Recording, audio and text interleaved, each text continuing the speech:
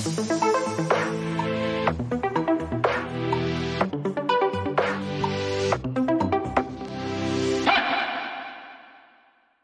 students, I am Professor Masood Fuzail. Today we are going to discuss parabronchi or respiration in birds. To understand the exact mechanism of respiration in birds, first of all we have to look at the anatomy of the bird, especially the air passageway of the uh, birds. So I have I had made a diagram already made for you. This is a bird on the beak of the bird, there are two tiny openings which are known as external nares, which leads into nasal passageway. From nasal, nasal passageway opens into pharynx and pharynx opens into a tube-like structure which is known as trachea. Trachea is also known as windpipe.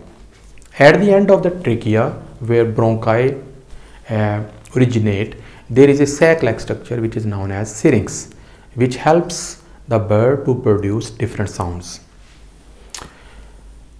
When trachea divides into two bronchi, left bronchus and right bronchus which leads into left lung and lung, right lung. There are two lungs present in the thoracic cavity of the body. As you can see in this diagram I have made in the black color.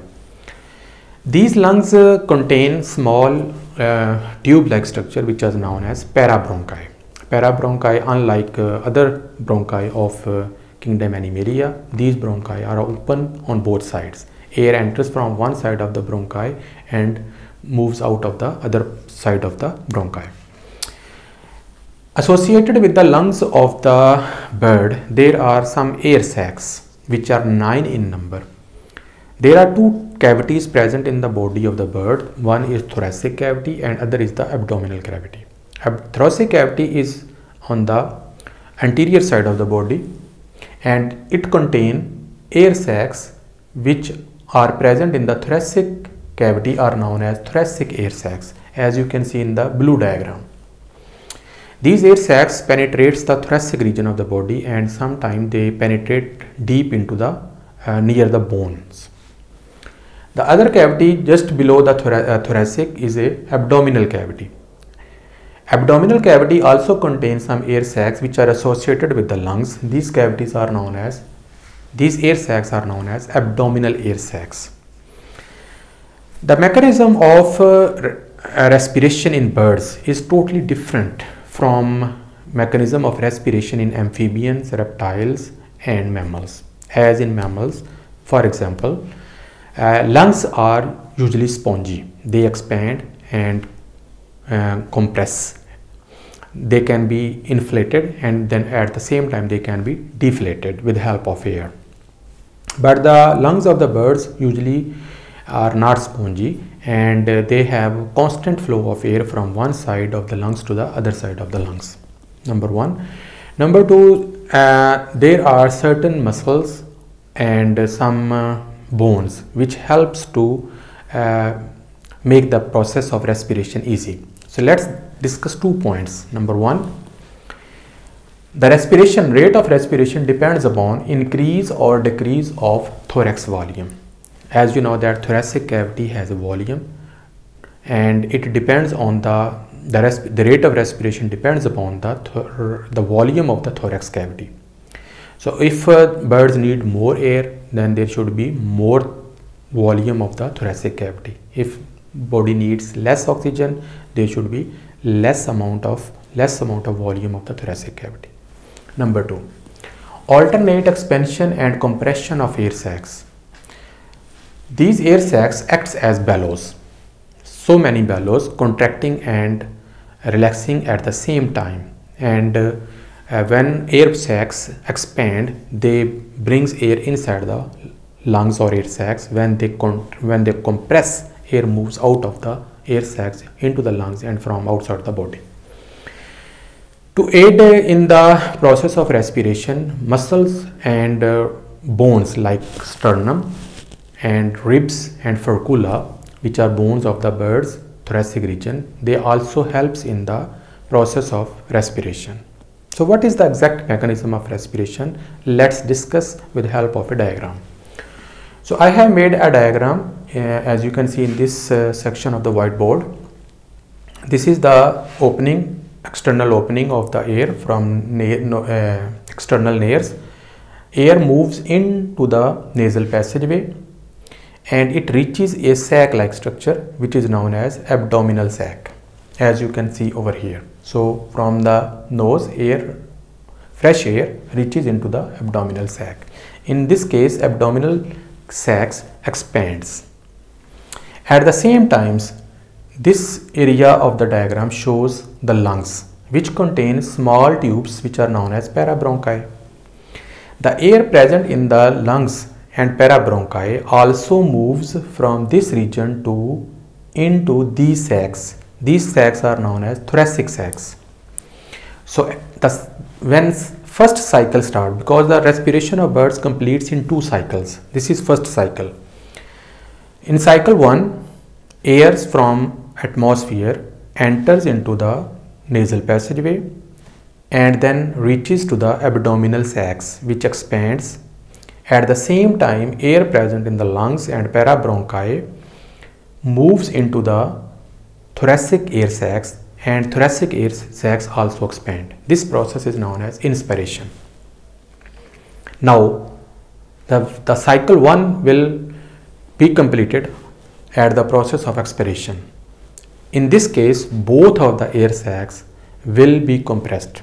Now, look at this diagram. This is a thoracic air sac. It is, the arrow shows that the air sacs is compressing with the help of muscles of the wings and bones and the ribs of the body. When these air sacs are compressed, air moves from air sac into the nasal passageway and outside the body.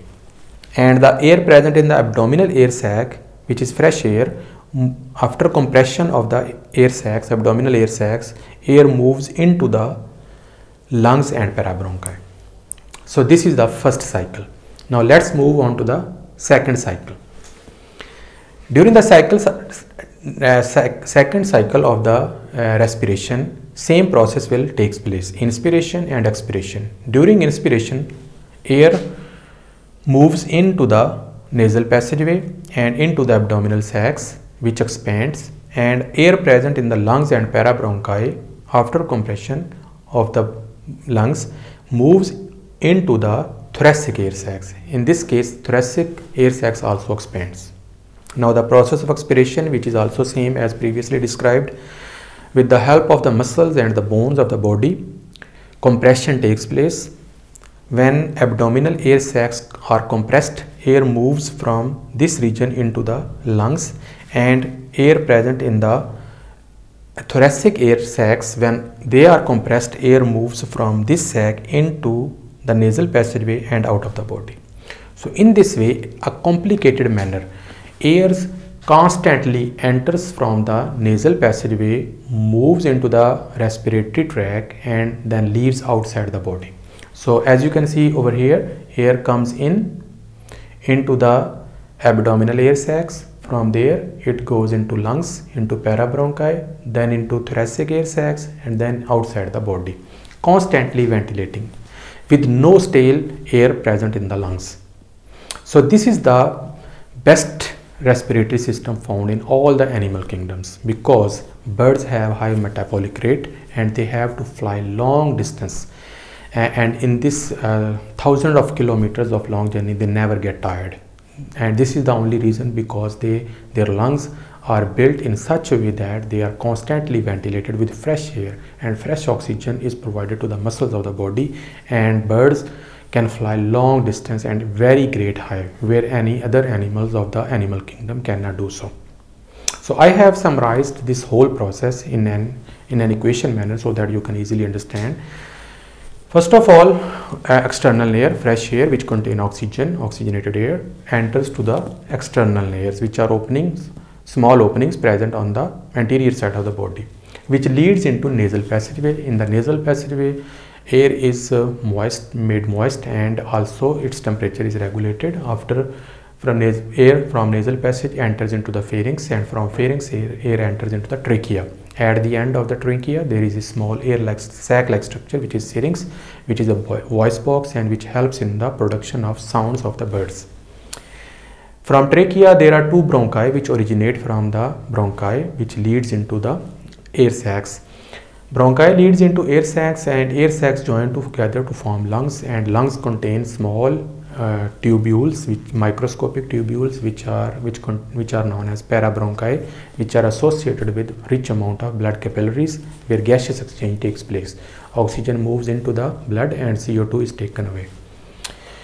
And after uh, in the lungs parabronchi exchange of gases takes place and then after uh, the air which contain more oxygenated more carbon dioxide moves again into the air sacs which are usually uh, thoracic air sacs. And from thoracic air sacs air moves into trachea. And from trachea the air containing CO2 is removed outside of the body. So in this way the process of respiration has been completed. I hope it makes sense. And uh, until um, this lecture is until now this is finished. And uh, hopefully see you in the next lecture. Until then bye